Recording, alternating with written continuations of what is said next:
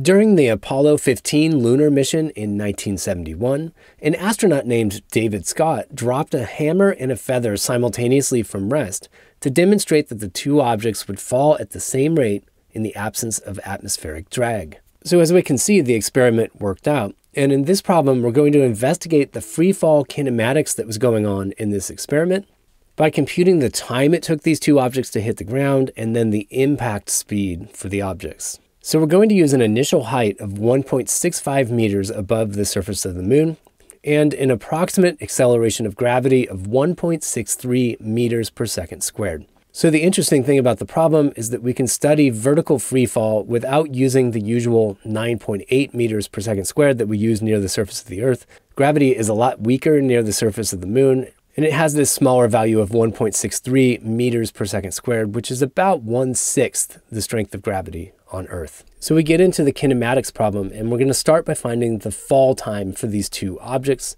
And we'll start by writing down what we know. The initial height is 1.65 meters. And we're going to use a coordinate system where we put zero on the ground and call upward positive.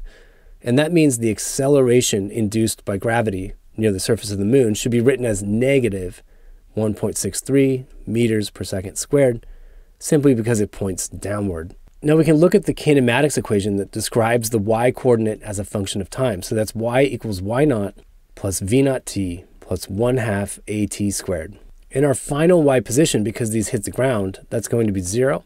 Our initial velocity is going to be 0 because we release the objects from rest.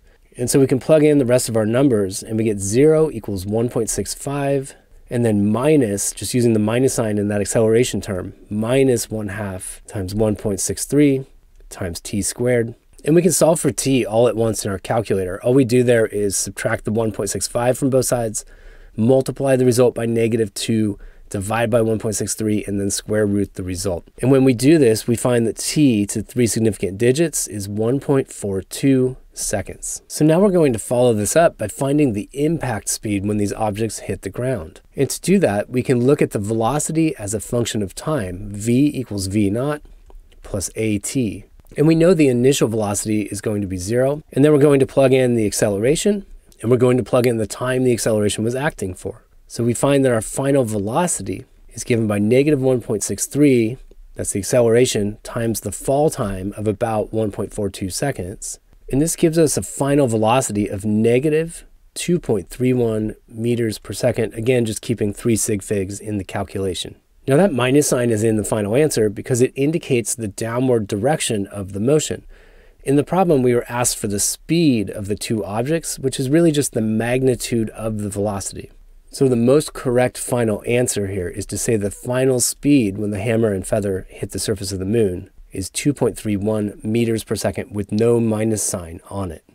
In our next physics on the moon sort of problem, we're going to look at a famous moment from the Apollo 14 lunar mission where astronaut Alan Shepard hit two golf balls off the surface of the moon. So we're going to do the projectile motion analysis of those golf balls in this 1 6th G environment. I'll post a link to that video at the upper left, and I'll see you there.